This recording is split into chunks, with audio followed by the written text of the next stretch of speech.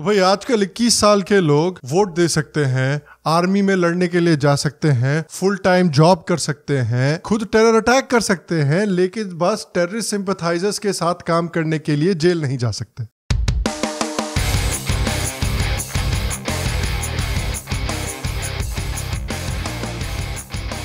Hello hello, और Shyam Sharma show के इस एपिसोड में आपका बहुत बहुत स्वागत है आज मुझसे जुड़ने के लिए और आज का एपिसोड देखने के लिए।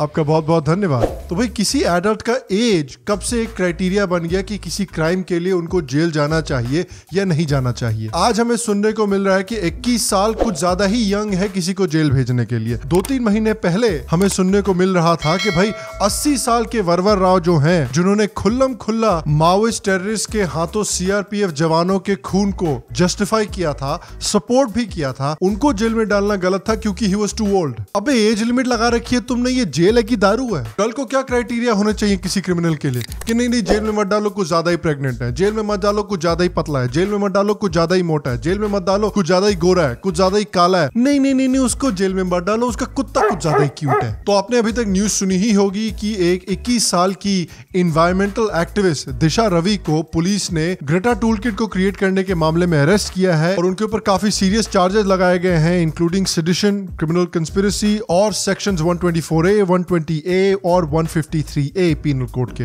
अब इस बात पे हमारे बुद्धिजीवियों का और आंदोलन जीवियों का काफ़ी मेल्टडाउन हो रहा है। वो कह रहे हैं कि भाई गवर्नमेंट 21 साल के क्लाइमेट एक्टिविस्ट को क्यों अरेस्ट कर रही है? इतनी बहादुर गवर्नमेंट है कि एक 21 साल की लड़की को उन्होंने अरेस्ट किया है।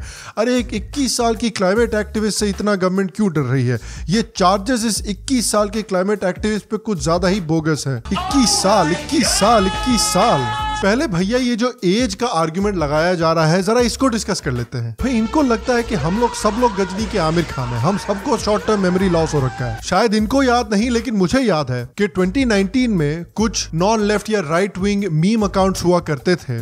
उन सभी मीम अकाउंट्स की पर्सनल इंफॉर्मेशन लीक कर दी थी फॉल्ट न्यूज़ के को फाउंडर प्रतीक सिन्हा ने। तो जिन मीम अकाउंट्स की पर्सनल इंफॉर्मेशन लीक की गई थी, उनमें से कुछ लड़के थे जो दिशा की ही एज के थे। और उस एज के लड़कों की ज़िंदगी बर्बाद करने की कोशिश की गई थी। उन एज के लड़कों के जॉब प्रोस्पेक्ट सारे बर्बाद करने की कोशिश किए गए थे। उन लड़कों को डेथ थ्रेट्स आ रहे थे उनकी पर्सनल इंफॉर्मेशन लीक होने के बाद। लेकिन उनको डॉक्स करना, वो ठीक था, वो जस्टिफाइड था। उनके लिए किसी ने भी आवाज़ नहीं उठाई। उनकी एज बिल्कुल भी मैटर नहीं कर रही थी। कलकत्ता में कुछ समय पहले लड़के ने एक फेसबुक पोस्ट पर प्रॉफिट मोहम्मद के बारे में कुछ लिख दिया।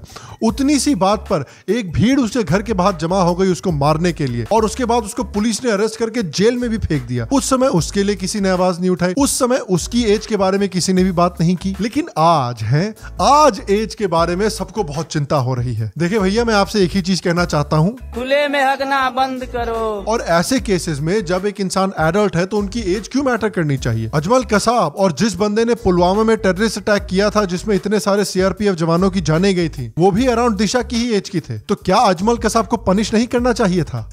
बच्चे हैं बच्चे तो यार टेररिज्म करते ही रहते हैं। बच्चे हैं। बच्चे तो टेररिस्टों के साथ काम करते ही रहते हैं।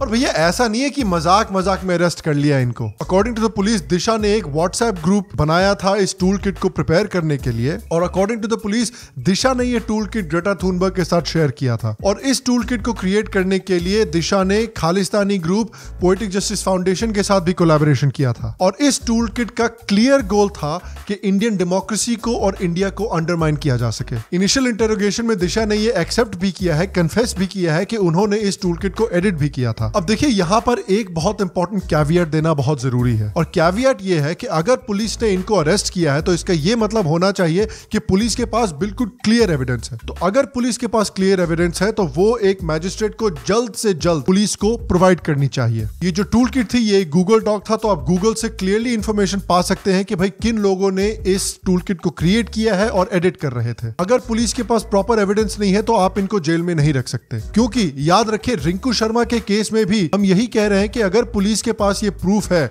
कि ये रिलीजियसली मोटिवेटेड वायलेंस नहीं था तो ये प्रूफ आप जल्द से जल्द हमें प्रोवाइड कीजिए। उसी तरह से अगर दिशा के केस में भी पुलिस के पास प्रूफ है तो पुलिस को ये प्रूफ जल्द से जल्द क्लियरली मैजिस्ट्रेट को प्रोवाइड करना चाहिए। लेकिन सवाल अब ये उठ रहा है ना कि भाई, एक टूल किट की वजह से, एक गूगल डॉक्यूमेंट की वजह से आपने इस लड़की को अरेस्ट कर लिया। ये टूल किट डेंजरस मानी जाती है इसके कंटेंट की वजह से और किस तरह के लोग इसको क्रिएट करने में इन्वॉल्व थे, उनकी वजह से। एक ऑर्गेनाइजेशन जो इस टूल किट में इन्वॉल्व है, वो है far left environmental organisation extinction rebellion जो ऐसे मेथड्स को यूज़ करता है अपने मूवमेंट्स में, जिस मेथड्स का इस्तेमाल किया जाता है इलेक्टेड डेमोक्रेसीज को ओवरथ्रो करने के लिए। दूसरा बड़ा ग्रुप है जिसने इस टूल किट को क्रिएट करने में कोलेबोरेट किया है, वो है Khalistani sympathiser group poetic justice foundation poetic justice foundation का जो फाउंडर है मो धालीवाल वो खुद एक खुल्लम खुल्ला खालिस्तानी सपोर्टर है। और खालिस्तानी मूवमेंट याद रखिए एक टेररिस्ट मूवमेंट है जिसका गोल है भारत के टुकड़े करना, पंजाब को भारत से काट कर अलग करना। इस टेररिस्ट मूवमेंट की वजह से 1980s और 1990s में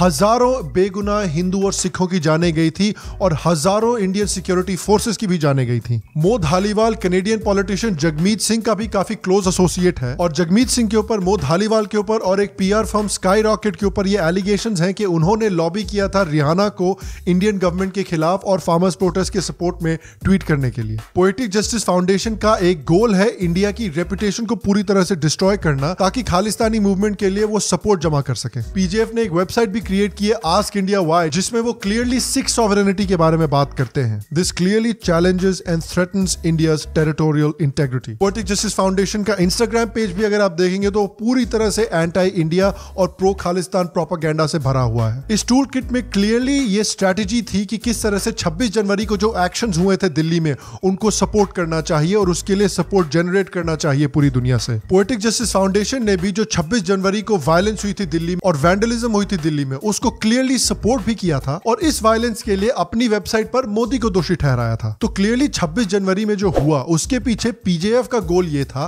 कि भाई ये वायलेंस को इनकरेज करे, बढ़ावा दे। जब ड्रेडफोर्ट में वायलेंस हो पुलिस के ऊपर वायलेंस हो, तब पुलिस एक्शन ले और कुछ लोगों की जाने जाए। तो ये जाके इंटरनेशनल कम्युनिटी को बोले कि देखिए देखिए, मोदी ने जलियावाला बाग 2.0 कर दिया है। तो पीजेएफ का क्लियर इंटेंशन था कि फार्मर्स प्रोटेस्ट को हाईजैक करके खालिस्तान मूवमेंट के लिए सपोर्ट जमा किया जा सके। और इसलिए ये टूल बहुत ही डेंजरस है। आप अमेरिका का एग्ज़ाम्पल देखिए। अमेरिका में जब कैपिटल हिल पर अटैक हुआ था, उस समय कई लोग कन्फेडरेट झंडे लेकर कैपिटल हिल के अंदर घुस गए थे। कन्फेडरेसी क्या चाहती थी? कन्फेडरेसी चाहती थी अमेरिका के टुकड़े करना। और इस तरह के लोगों ने कैपिटल हिल पर अटैक को सपोर्ट किया था, इसलिए इस तरह के लोगों को टेररिस्ट और सिसेशनिस्ट कहा गया था। उसी तरह से हमें पोएटिक जस्टिस फाउंडेशन को भी एक सिसेशनिस्ट ऑर्गेनाइजेशन और एक टेररिस्ट सिंपथाइजर ऑर्गेनाइजेशन डिक्लेयर करना चाहिए। तो ये है प्रॉब्लम इस टूल किट के साथ। और ये है प्रॉब्लम कि जिन लोगों ने इस टूल किट को बनाने में मदद किया है, वो जानते हुए या अनजाने में एक टेररिस्ट सिंपथाइजर मूवमेंट को और एक सिसेशनिस्ट मूवमेंट को, एक सेडिशनिस्ट मूवमेंट को सपोर्ट कर रहे थे। और मैं दोबारा कह रहा हूँ कि अगर पुलिस के पास दिशा के खिलाफ इनफ एविडेंस मौजूद है तो उस एविडेंस को जल्दी से जल्दी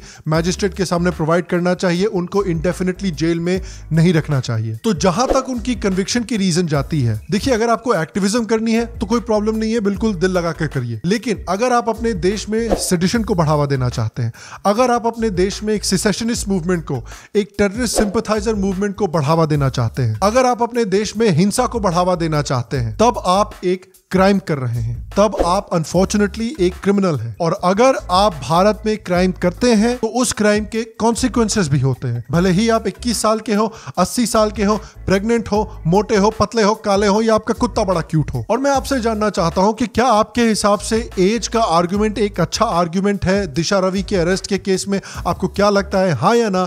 नीचे कॉमेंट सेक्शन में मुझे ज़रूर बताएँ। अगर आपको आज का एपिसोड पसंद आया हो तो प्लीज़ आज के एपिसोड को एक लाइक दे। थम्स अप दे, इससे मेरी बहुत मदद होती है। इससे श्याम शर्मा शो की बहुत मदद होती है। और अगर आपको श्याम शर्मा शो पसंद है, अगर आप श्याम शर्मा शो को सपोर्ट करना चाहते हैं तो सबसे पहले तो श्याम शर्मा शो का मर्च स्टोर जाके देखिए। दो नई टी शर्ट डिज़ाइन अगले हफ़्ते में अनाउंस करने वाला हूँ शो पर तो ज़रूर श्याम शर्मा शो को फॉलो करें। श्याम शर्मा शो को पेट्रियन पर सब्सक्राइब करें। श्याम शर्मा शो के यूट्यूब पर एक मेंबर बने। अगर आपको आज का एपिसोड पसंद आया, अगर आपको श्याम शर्मा शो पसंद है, लेकिन आपने अभी तक सब्सक्राइब नहीं किया है, अरे भैया तो किस बात का इंतज़ार कर रहे हो? ये रहा बटन प्यारा सा बटन क्लिक करो बेल आइकॉन को दबाना बिल्कुल भी मत भूलना। और हमारे यहाँ और यहाँ और भी एपिसोड्स हैं। इनको भी जरा जाकर देखिए। आपको ज़रूर पसंद आएँगे। मैं आपको अगले एपिसोड में मिलूँगा और तब तक स्वस्थ रहें, सुखी रहें। और फिर मिलेंगे।